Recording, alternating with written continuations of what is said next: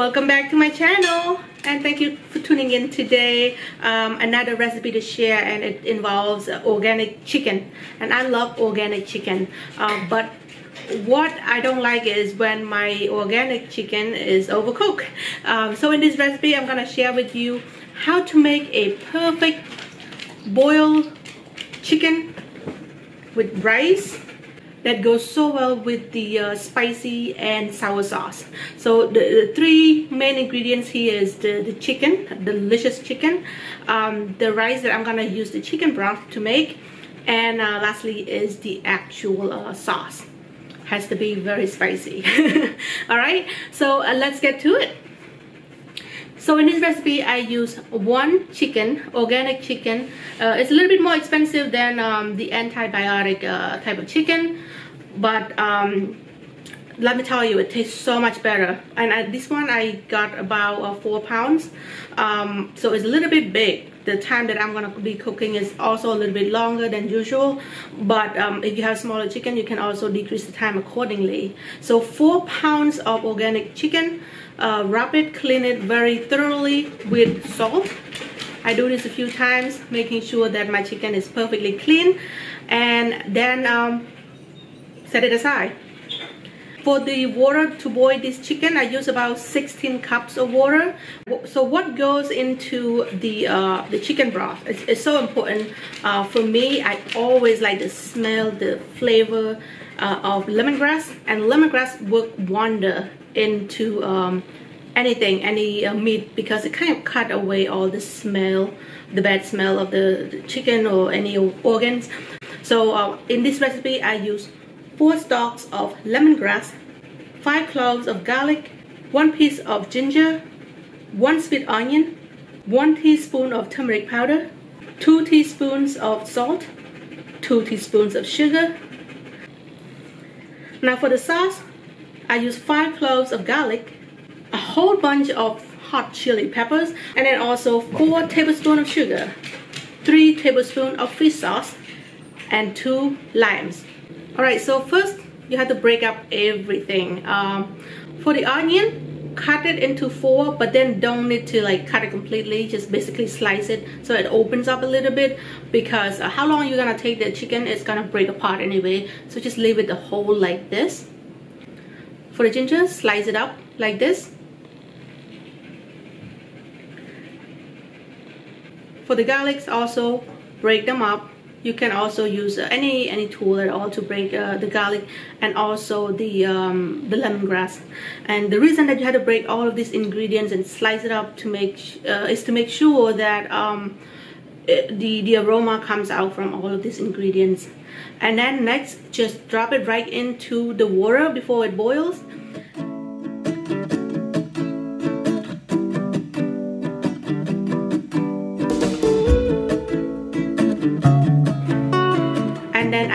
sugar the salt and for the turmeric powder make sure you add a little bit of water to dilute it a little bit no more clumps perfectly mixed and then add it into the broth.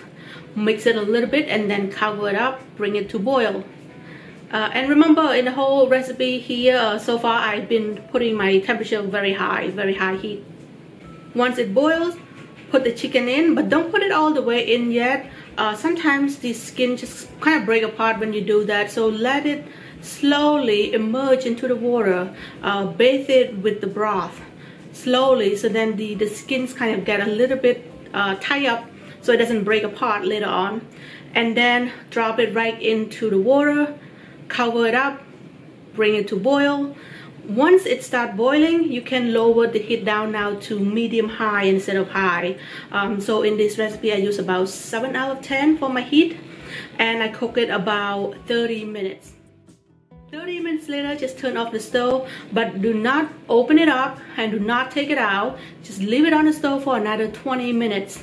Uh, so what it's doing is that 30 minutes for a four pounds chicken um, it's sometimes it's not too cooked yet. It's uh, probably still a little bit blood inside um, but if you cover it and leave it on the stove for just another 20 minutes it slowly cook and perfectly uh, make make make the chicken so tender. It's just so much so much better than just take it out right away. Okay? All right here you go 20 minutes later. It's all done set it aside. And now i'm gonna cook my rice. In this recipe i use three cups of rice but however many cups you want to eat um, just use it accordingly. And then I wash the rice just normally like how I would, you know, cook the rice in the rice cooker. But instead of using regular water, I use the uh, chicken broth, the broth that I uh, used to cook the chicken. Um, again, the same amount of water, how however much you, you usually put to cook your rice. And there you have it. The rice is cooked. Cut up the chicken and set it up like this.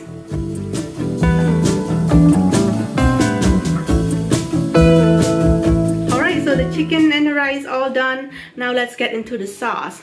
Uh, very simple how to make this sauce. Um, you can blend it using a blender but um, in this recipe I just do it manually. So I like to cut up the um, the garlic and the chilies a little bit.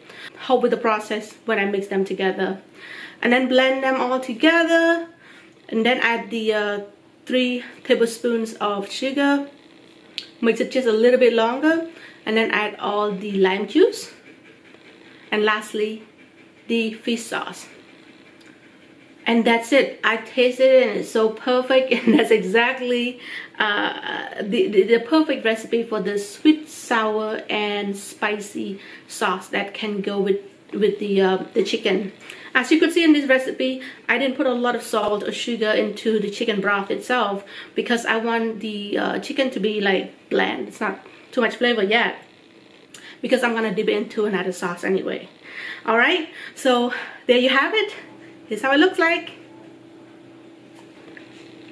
All right I cannot wait. I cannot wait to try it out right now. So uh, let's get to it. All right.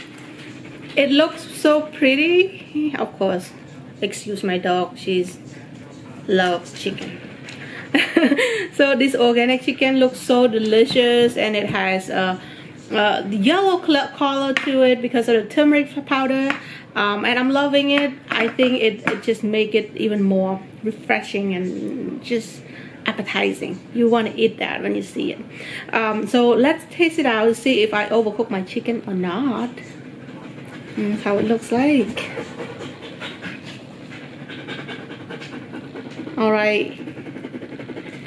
Importantly before I put into the sauce I just want to taste if it's a little bit too salty or not because um, you know in case too much salt in the broth mm. Mm. not too salty perfect now I'm gonna dip into the sauce okay mm.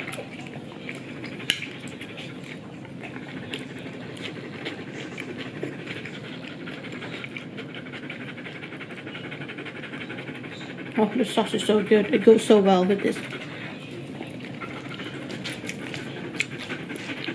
Mm-hmm.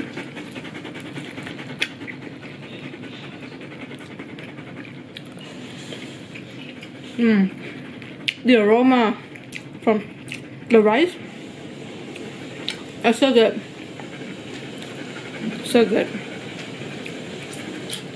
Mmm. -mm.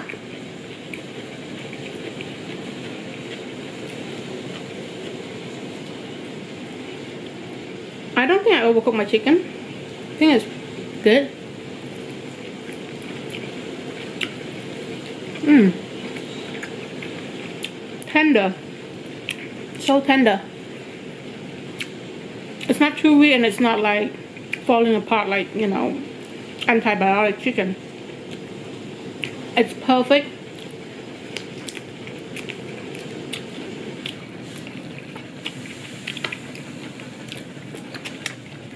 probably look like a mess right now.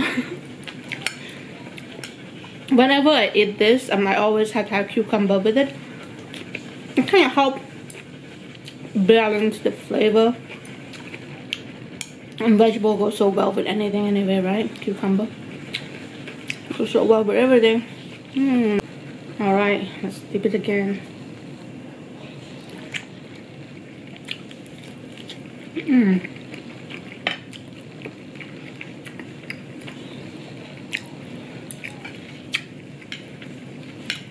Mmm. Mmm, so good. So good. So, the texture, as you could see, um, it's not at all overcooked. Perfect, not overcooked. Um, but in Asian restaurant, when they make it, they actually cook in less time, probably 25 minutes. Um, so you could see a little bit of blood in the bone. They like it a little bit raw, more raw than that. For some people probably overcooked side you compare to the restaurant, uh, Asian restaurant quality. But for people who like to eat cooked chicken, like perfectly cooked chicken, this is perfect for the time, the amount that I use to cook the chicken. Mm-hmm. And the sauce. Mmm. Chicken would be only chicken without this sauce. Sweet, sour, spicy. Mm. So for the sauce, I kind of uh, made a lot. So then I can put it in the refrigerator and then I can eat it with anything else in the future. It goes with anything, not just the chicken. Specifically, this sauce that I made, um, it's so perfect with seafood. If you just boil bland seafood and dip it into this sauce, you will fall in love with it. I'm telling you. You will love, love this sauce. One of my favorites. Mmm. I love how tender this chicken is. Mmm. So good.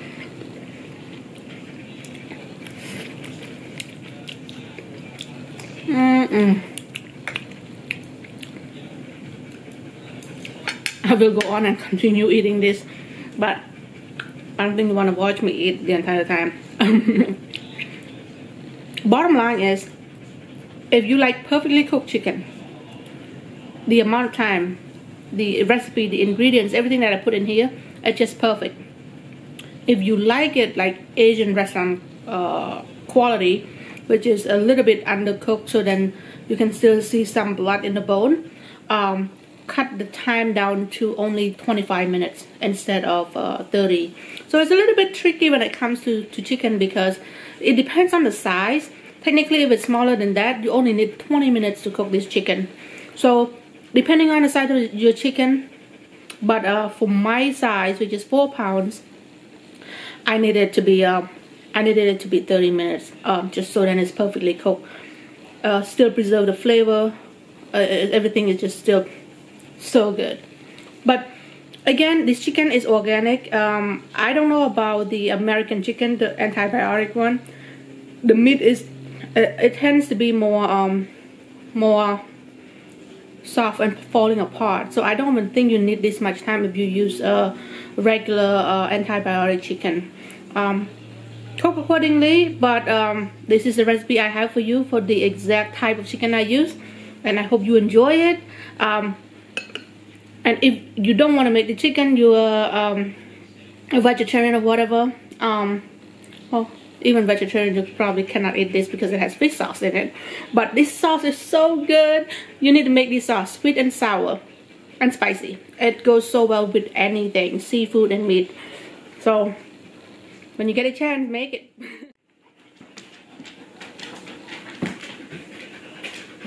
Naughty naughty dog naughty dog sit naughty dog sit down sit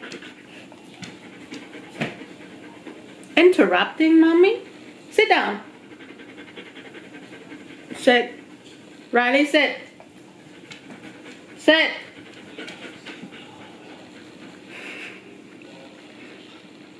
Alright, so that is it for today's recipe. I hope you enjoy it. If you like it, give it a thumbs up and also subscribe if you haven't already. Hey! Oh! Uh, thank you once again for watching and I will see you in the next video. Bye bye.